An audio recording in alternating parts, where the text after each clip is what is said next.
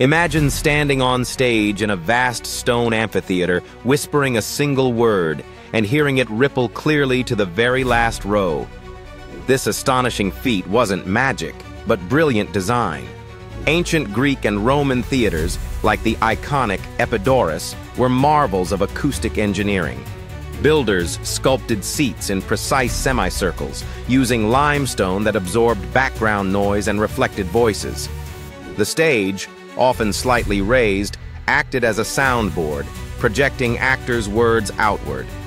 They even calculated the ideal slope of seating, ensuring sound waves traveled efficiently upward without distortion. Special attention was given to the orchestra pit, whose shape helped spread sound evenly. Some theaters featured hollow vessels placed beneath seats, subtly tuning and amplifying frequencies.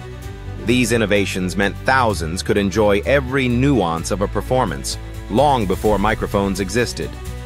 Modern researchers still puzzle over the exact formulas, but the results speak for themselves. Ancient audiences heard every dramatic whisper and triumphant shout, no matter where they sat.